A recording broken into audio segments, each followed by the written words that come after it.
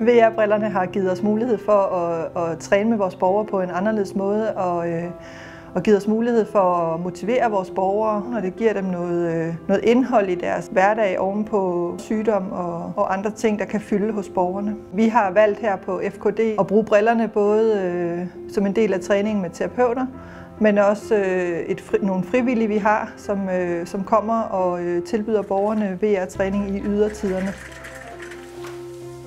Jeg synes, det er spændende. Det var helt nyt for mig, da jeg øh, prøvede første gang. Så kan vi komme øh, sammen komme ud på en oplevelse. Det tror jeg er spændende både for borgeren og for, for mig. Først så øh, sidder borgeren og finder ud af, hvad er det for en oplevelse, vi skal have sammen. Og så tager jeg brillen ud af kassen, og så finder jeg holder den op og tager den selv på og bladrer hen til der, hvor det skal være. Man behøver ikke en stor brugsanvisning. Der, der er få øh, steder at kunne indstille.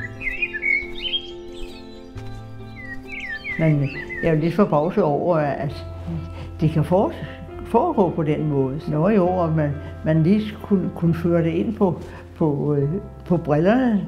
Og sådan noget har jeg jo aldrig oplevet før jo. Eller, havde jeg, eller har hørt om. Der er nogle borgere, som, som ikke ønsker at cykle særlig langt.